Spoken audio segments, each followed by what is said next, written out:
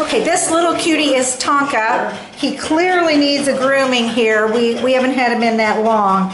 You can see that top coat or the uh, outer coat is coming off in chunks right now. He's been a real good sport about it though. Butch, Butch on the other side of the counter here, you were plucking on him and brushing him and, and no problem, right? I'm plugging him here. Yeah. fine. So he doesn't care as long as he's getting attention. Um, I was contacted by a shelter in southern Indiana. We've taken several dogs from him, but it's been a while.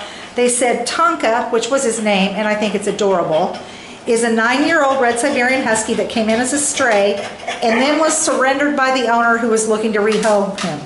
He's good with other dogs, uh, doesn't, not crazy about restraint. Maybe that's what that was, Bev, when you had your hand on his mouth. Um, although he didn't do anything. He just barked. Yeah, yeah, it kind of surprised him.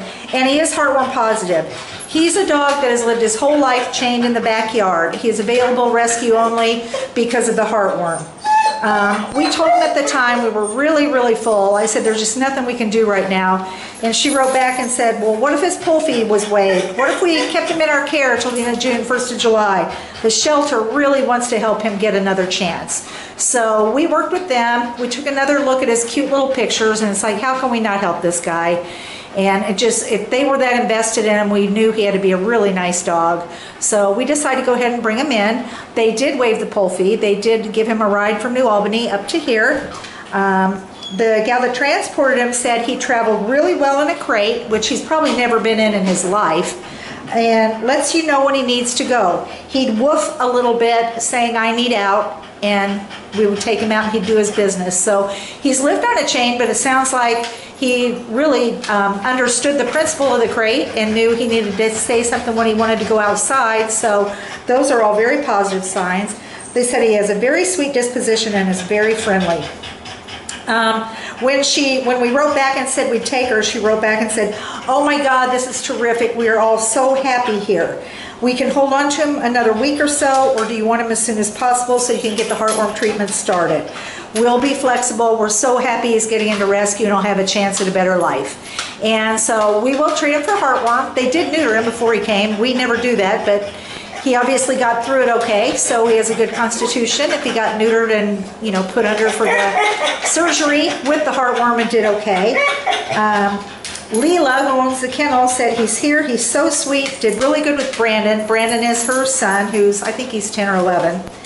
And cats, so possibly cat friendly. And she has since confirmed when we got here that he is cat friendly. So he's not a big boy. His shelter weight was 45 pounds. He probably should weigh 50 to low 50s, don't you guys think? Yeah, he's a little thin. Yeah, He's he's- not emaciated, but he's thin. Yeah, so he could pack on a few more pounds, which that would be nice to hear.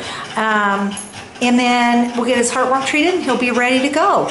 He's just really friendly and excited. He took the treats really nicely. Have I, you know, I'm always reading my notes. Have you gi- given him treats while we've been filming? Oh, yeah, yeah. Okay. So he took those nice and he was nice with Uncle Butch. Good boy. Oh, and, and you said he saw Gracie and was acting playful with her, or? My Gracie's here, she's, she's, I think, nine also, about the same size. And, uh, so they wanted to play. He saw a pretty girl, and she thought he was pretty cute too. So, this, whoops, what's that? What's his Tonka? Oh, good boy, that was almost a sit. He said I would learn really, really fast, I promise.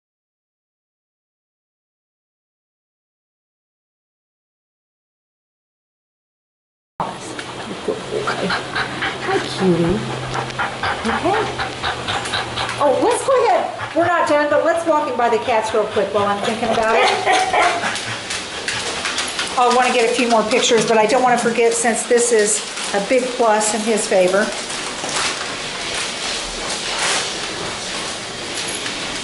Want to say hello to the kitties? Where's the kitties? Look at all these kitties.